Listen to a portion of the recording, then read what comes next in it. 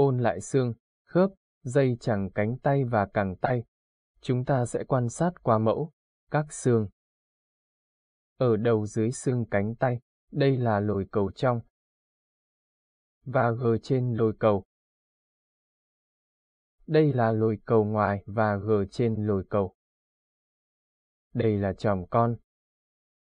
Và đây là dòng dọc, ở đầu trên xương trụ. Đây là hố sigma. Đây là mỏm khuỷu. Đây là mỏm vẹt và lồi củ xương trụ và khuyết quay xương trụ.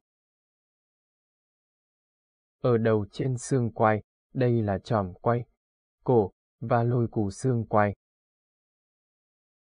Bây giờ chúng ta hãy quan sát các dây chẳng. Đây là dây chẳng bên quay. Dây chẳng vòng quay. Dây chằng bền trụ. Và bao khớp.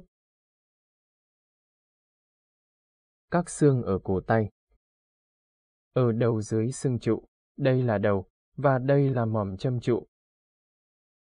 Ở đầu dưới xương quay. Đây là diện khớp với xương trụ, đây là diện khớp của khớp cổ tay.